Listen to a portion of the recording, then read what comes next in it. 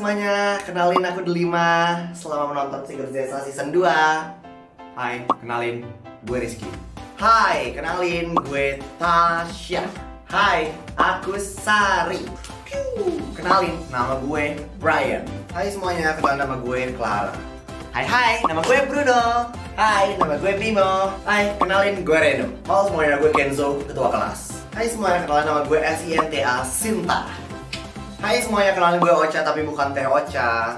Hai, kenalin nama gue Salsa. Gue murid baru di sini. Halo semuanya, nama aku Boy. Aku adanya Delima. Hai, Saya papaya Rizky. halo semuanya. Saya ibunya Delima. Halo, saya mamanya Rizky. Hai semuanya, saya Miss Centini. Hmm, perkenalkan nama saya Pak Haryo. Saya kepala yayasan di sekolah ini.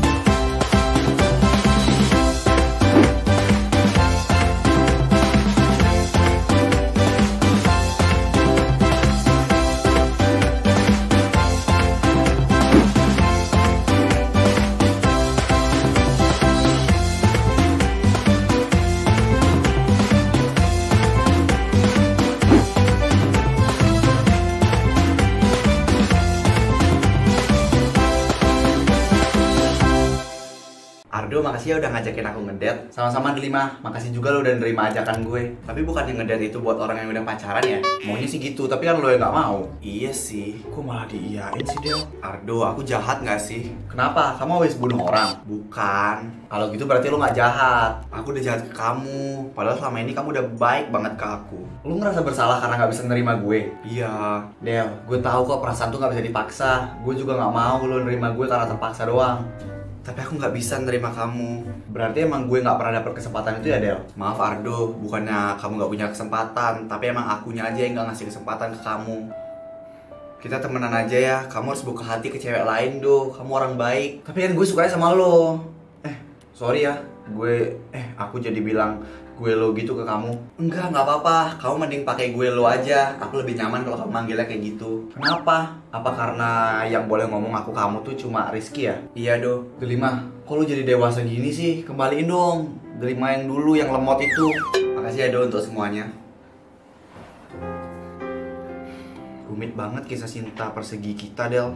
Rizky, ngobrolin apa kau tadi lama keluar dari mobil? Oh banyak sih, aku nggak ngapalin Ki Ah, lagi di talk ceritanya Ah, enggak sih, ngobrol biasa aja Kamu ngapain di rumah aku? Main game sama Boy Kamu ke sini cuma buat main game sama Boy? Iya emang kenapa nggak boleh? Ya kalau misalnya aku nyariin kamu juga nggak mungkin Orang kamu sama Ardo terus Aku tadi habis ngedet Hah? Ngedet? Kalian pacaran? Ardo mau sih pacaran sama aku, tapi aku nggak mau Kenapa? Emang lu gak suka sama Ardo? Dia kan ganteng. Iya sih, tapi aku gak mau pacaran sama Ardo. Ardo terlalu baik buat aku. Pacarannya sama narapidana noh Ya ampun, nih drama gak kelar-kelar. Clara, kamu dari mana? Nyari hujan. Di langit. Ya enggak lah Del, orang gila mana sih yang nyari hujan? Ya kamu tadi yang bilang gitu. Rizky, lo kalau udah selesai balik sana. Gak seneng ngeliat gue, kalau gak seneng bilang. Ih, kenapa jadi lo yang marah-marah? Bunting lo Rizky, kamu hamil Oh my god, selamat. Ih, malah diselamatin bego. Aduh, nggak ngerti deh, pusing gue. Ampun deh, ampun ampun. Rizky, kamu? Enggak deh, enggak. Clara ngaco doang tuh. Oh, kirain. Ya udah, gue mau balik. Kamu nggak pernah konsisten deh kalau ngomong. Kadang aku kamu, kadang lo gue. Pantesan nggak punya pacar. Ya kan aku udah putus sama pacar aku. Emang siapa yang suruh mutusin? Balik deh gue, Del. giliran ditanya tentang alasan kenapa putus selalu menghindar terus. Sebenarnya di sini nggak dewasa itu kamu atau aku sih Ki?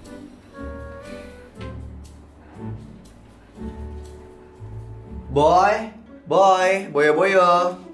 Apa sih kak? Rizky tadi ngapain ke sini? Main game sama aku. Selain itu, ah enggak kok. Tadi main game doang sama aku. Terus karena nungguin kakak terlalu lama, jadi dia pulang deh. Berarti Rizky ke rumah buat nyariin kakak. Iya sih. Oh iya, sama itu tadi kak Rizky bawa paper bag buat kakak katanya. Isinya apa? Bangke tikus Del. Aduh, lu penasaran amat kayaknya. Kalau misalnya penasaran tuh langsung buka aja nggak usah banyak nanya begitu. Clara, kamu dari tadi nyambung mulu tiap aku ngomong. Pasti ada kabel listrik tuh di belakang badan kak Clara. Emang iya Clara? Kok kamu nggak kesetrum sih? Del, lu pintar dikit apa sih ah? Ntar kalau misalnya jalan ada yang ngasih lu permen terus lu mau gitu. Iya emang kenapa kan cuma ngasih permen? Ya, Itu berarti lu mau diculik dong, Mo.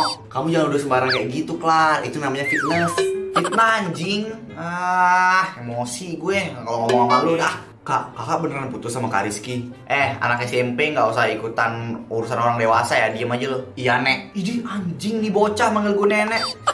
Clara, kamu sibuk nggak? Sibuk gue, lu nggak ngeliat gue lagi potong kuku. Habis motongin kuku, kamu sibuk apa lagi? Ngitungin oksigen yang gue hirup hari ini.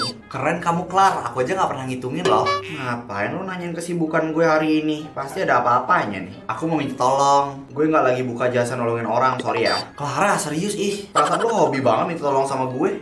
Ya kan cuma kamu yang bisa aku mintain tolong. Ada maunya aja lo ke gue. Mau minta tolong apa? Bisa anterin ke rumah Rizky? Enggak. Loh kenapa? Enggak hafal gue rumah dia. Aku hafal kok Clara. Nanti aku yang kasih arahan ke kamu. Mau ngapain lagi sih ke rumah Dugong itu? Aku mau ngomong sama Rizky. Tadi emang di depan rumah nggak puas kalian ngomongnya. Tadi mendadak Rizky mual-mual. Udah mau lahiran dia. Clara, Rizky kan cowok, nggak mungkin hamil. Tumben lo pinter. Iya iya Clara, anterin aku ke rumah Rizky. Itu tadi kenapa Rizky bisa sampai mual-mual? Tadi mama masak udang, padahal Rizky kan alergi udang. Oh, gue pikir dia alergi sama Ardo. Rizky, ngapain lo ke sini? Alergi kamu parah, Ki. Gak usah sok peduli deh, Del. Ini tadi aku beliin obat alergi buat kamu. Gue benci sama lo, Del. Aku juga benci kok sama kamu, Rizky. Tenang aja. Tuh kalau misalnya udah dijahatin orang, jahatin balik, ya. Jangan baik mulu. Ntar orang-orang jadi ngelunjak sama lo. Nih obatnya. Thanks obatnya. Kita bisa ngomong bentar nggak? Nggak. 5 menit aja. Nggak, Del. Kalau gitu 2 menit aja. Janji cuma 2 menit deh. Ini aku setting al alarm. Ya udah apa? Kita benar-benar udah seasing itu ya Riz sekarang. Udah kayak dulu lagi. Aku juga nggak tahu kenapa kamu mutusin aku. Dan aku rasa juga ini nggak ada masalah. Ada masalahnya, Del. Ya udah, aku tuh kasih tahu aku alasannya ke- kenapa kamu mutusin aku. Aku juga ikut andil di hubungan ini. Kenapa kamu kayak berhubungan sendiri gini sih? Aku juga sakit hati, Rizky, waktu kamu mutusin aku. Oke, waktu lo habis lo boleh pulang. Anak anjing ya nih Rizky. Aduh. Ayo kelar kita pulang. Gue bakar rumah lu, lihat aja nanti. Eh, Del, lu kalau mau nangis nangis aja, nggak usah ditahan-tahan begitu.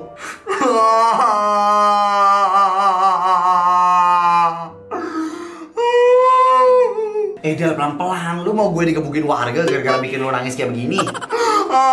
Tadi katanya boleh keras-keras.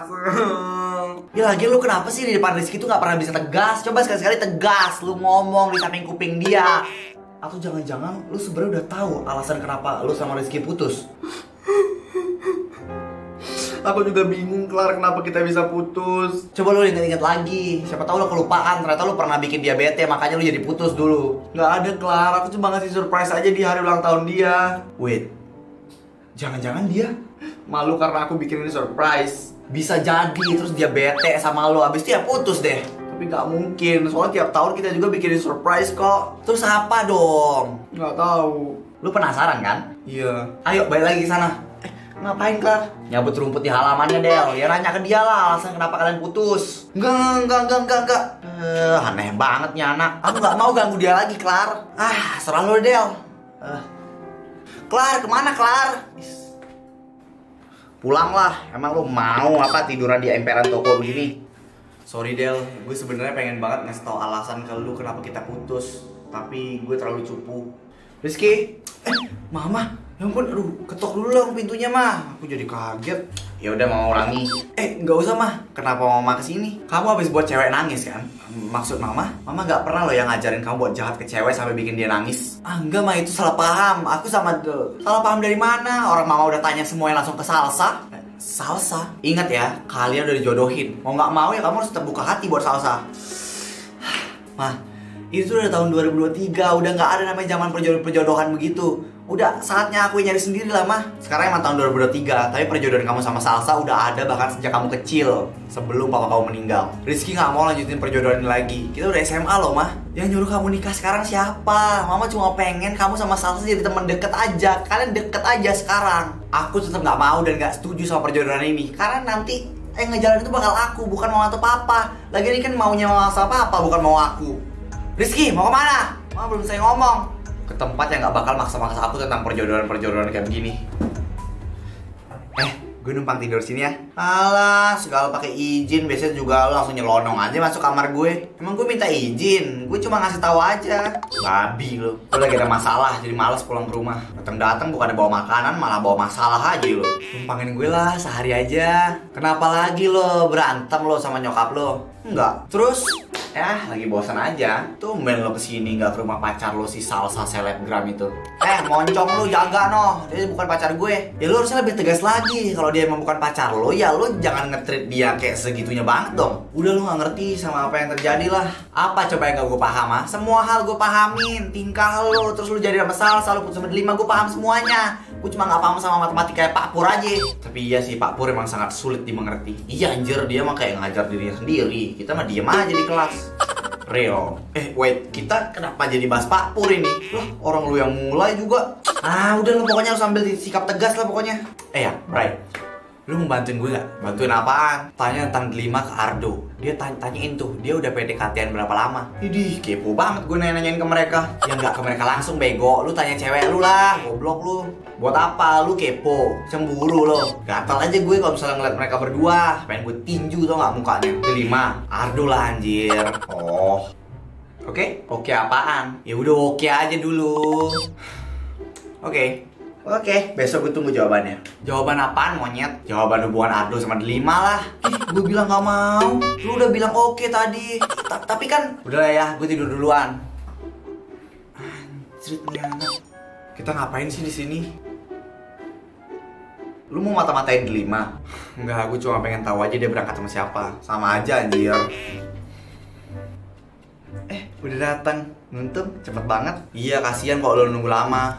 Kak, nebeng dong. 5000 Ih, bayar nih. Aku bayarnya pakai restu buat kalian berdua aja gimana? Boleh? Apaan sih? Ngapain coba delima senyum lebar kayak begitu? Berarti dia lagi seneng. Seneng dijemput Ardo. Bisa jadi. Kenapa? Ingat lo bukan sama siapanya. Ya udah yuk berangkat. Yuk, awas aja. Suatu saat nanti bakal gue nyemput delima Iya, berangkat yuk. Gue belum ngerjain PR nih. Ntar, lo mau gue dihukum di depan bendera di hari yang terik kayak begini? Ntar gue nyontekin. Yuk boy. Eh, awas awas, boy ngeliat kita. Ya lagi ngapain takut sih, kita kan gak maling barang. Eh, sakit anjir Boy, ayo. Oh iya, yuk kak. Ki, lo ngapain yang ngelamun kayak begitu? Iya, berisik loh. Kenapa sih lo cemburu ya sama Delima? Enggak. Anak TK pun tahu kalau misalnya lo masih suka sama Delima. Lo gak usah sosokan menghindar gitu deh. Kenapa lo bisa bilang gitu? Dari sikap lo, dari cemburu lo, dari semua-semuanya kelihatan Lo tuh masih suka sama Delima. Gimana kalau ternyata ini bukan suka, tapi cuma karena gue belum terbiasa sama perubahan ini. Terserah lo deh, semua keputusan ada di tangan lo. Eh anjir kita udah telat yuk, ayo